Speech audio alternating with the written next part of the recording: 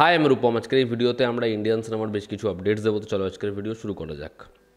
দেখুন, রাহুল মুখার্জির ছবি আটকানোর পর থেকে টলিউডে রিসেন্ট টাইমসে একের পর এক সংশয় লেগেই রয়েছে। যেমন, রাহুল মুখার্জির যখন ছবিটা আটকালো, তারপর ফেডারেশন ভার্সেস ডিরেক্টরস গিল্ড সেটা যেরকম জায়গায় পৌঁছালো, তারপর সেটা শর্ট আউটও হয়ে গেল। কিন্তু একটা স্টেটমেন্ট এমন রেখেছিলেন ফেডারেশন সভাপতি স্বরূপ বিশ্বাস, তারপরে পরিচালকরা, দুশো তেত্রিশ জন পরিচালকরা তার এগেনস্টে মানহানির মামলা করেছেন। তো দুশো তেত্রিশ জন পরিচালকের মধ্যে অন্যতম অঞ্জন দত্ত, হরনাথ চক্রবর্তী, কৌশিক গাঙ্গুলি শ্রীজিৎ মুখার্জি, পরমব্রত চট্টোপাধ্যায়, অনির্বাণ ভট্টাচার্য এরকম আরও আরও নাম। তেইশ কোটি টাকার মানহানির মামলা দায়ের করেছেন। দেখার এই বিষয়টা কোন জায়গাতে যায়? স্টেটমেন্টটা রেখেছিলেন স্বরূপ বিশ্বাস কয়েক মাস আগে। তিনি বলেছিলেন যে যৌন হেনস্থা যেটা হচ্ছে, টলিউডে হামেশাই এখন শোনা যাচ্ছে, তার পিছনে রয়েছে ম্যাক্সিমাম পরিচালকেরা। এই যে যৌন হেনস্থা হয়, তার ষাট শতাংশ করে হচ্ছে পরিচালকেরা, সিনেমার পরিচালকেরা। এই স্টেটমেন্টটা সে দিয়েছিল। যার অ্যাগেইনস্টে বাঙালি প্রত্যেক পরিচালক খুব খেপে যায়, তারা ক্ষিপ্ত হয়ে মানহানির মামলা করে। তো টলিউডে খুব টালমাটাল পরিস্থিতি, দেখার এই বিষয়টা কোন জায়গাতে যায়। আজকের অন্যতম বড় যেটা আপডেট সেটা হচ্ছে S S MB twenty nine নিয়ে। তো এই ছবিটা দুটো পার্টে হবে আমরা জানি। এই ছবিটার ফাইনালি স্ক্রিপ্টের স্টেজ কমপ্লিট হয়েছে স্ক্রিপ্ট সম্পূর্ণরূপে কমপ্লিট ছবির রেকির কাজ শুরু হয়েছে এবং রেকির কাজও ফুল দমে চলছে। অনেকটা সময় ধরে রেকির কাজ কমপ্লিট হবে, অনেকগুলো লোকেশন নিয়ে কাজ হবে এবং এই ছবিটা রেকির কাজ কমপ্লিট হওয়ার পরে তারা ছবির প্রি প্রোডাকশনের কাজ, বাকি কাজটুকু সারবে এবং এই ছবিটা ফ্লোরে যাবে দু হাজার পঁচিশের শুরুর দিকে, অর্থাৎ জানুয়ারি মাসে। কিন্তু সংক্রান্তির পরে আনুমানিক এই ছবির বাজেট নশো থেকে হাজার কোটি টাকার। দেখার মহেশবাবুকে এস এস রাজামৌলি কীরকমভাবে প্রেজেন্ট করে, এই ছবিতে আমরা সারপ্রাইজ প্যাকেজ হিসেবে আর কী কী পাই? এই ছবিটা নিয়ে অডিয়েন্সের মধ্যে এক্সাইটমেন্ট তুঙ্গে।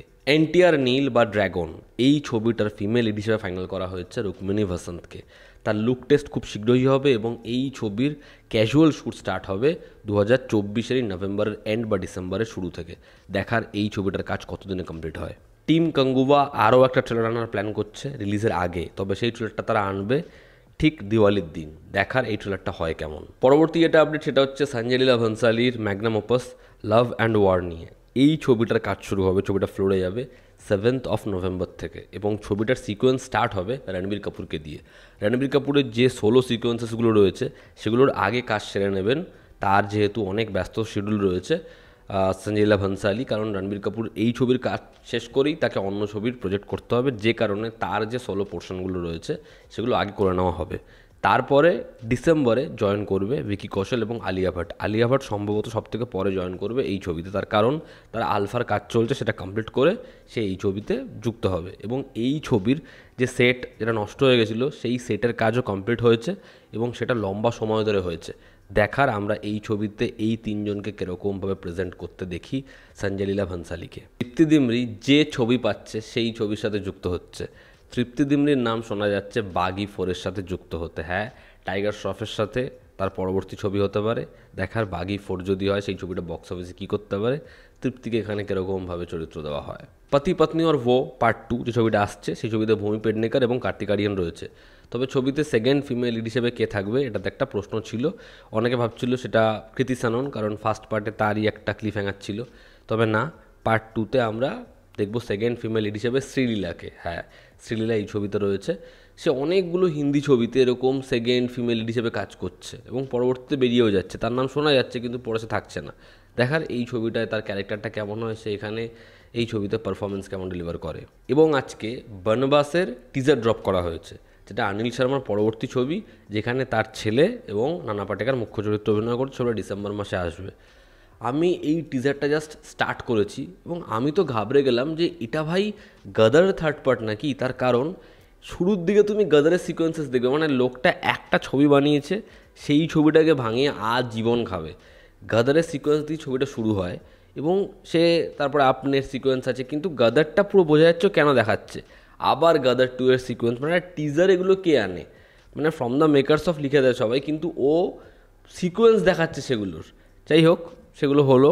তারপর আমরা দেখতে পাই যে নানা পাটেকারের যে ক্যারেক্টার যে মেবি কোথাও একটা লম্বা সময়ের জন্য চলে গিয়েছিল, সে নিজের পরিবারের কাছে যখন ফিরছে, তখন দেখছে তার ছবিতে হাড় পড়ানো হয়ে গেছে। এবং সে এই যে বনবাস থেকে ফিরছে, সে ফিরে এসে নিজের পরিবারের এরকম রূপ দেখছে। আমরা সেখানে ছবির সেকেন্ড লিডকে দেখতে পাই, যে মেবি তার সাথে কোনো রকম সংযোগ রাখে না, কিন্তু এই মানুষটার আসল ছেলে সেই হয়ে যাবে হয়তো পরবর্তীতে। এবং শেষে নানা পাটেকারের একটা সংলাপ রয়েছে যখন ছোটো ছিল তখন আমি ডাস্টবিনে ফেলে দিতে পারতাম। তো যাই হোক, যেরকম ব্যাকগ্রাউন্ড স্কোর যেরকম লুক অ্যান্ড ফিল যেরকম দেখতে লাগে, আমি এই টিজারটা নিয়ে খুব একটা এক্সাইটেড নই। তবে নানাকে দেখতে পেয়ে ভালো লাগছে, সে একজন ফেনোমেনাল পারফর্মার তো সে যে কোনো সিকোয়েন্স তুলে দিতে পারে। তবে নানা পাটেকার রিসেন্টলি স্টেটমেন্ট দিয়েছে, এটা তার কেরিয়ারের সেরা পারফরমেন্স সেরা সিনেমাগুলোর মধ্যে নাকি অন্যতম। দেখার অনিল শর্মার এই ছবিটা হয় কেমন? যেহেতু গদারের সাথে এই ছবিটা কোনো রকমভাবে যুক্ত নয়, এই ছবিটা নিয়ে যথেষ্ট ডাউট আছে। ছবিটা এত কম্পিটিশনের মাঝখানে সে পিছিয়েই যাবে। দেখার এই ছবিটা কিছু করতে পারে কি না? তো এই টিজারটা আমার খুব একটা আহামরি কিছু লাগেনি। তো এই ছিল আজকের ভিডিও ভালো লেগে থাকলে লাইক করো শেয়ার করো সাবস্ক্রাইব করো। তোমাদের কি অপিনিয়ন জানিও? জনতা আমাদের পাশে আছে। আবার দেখা হচ্ছে। Take care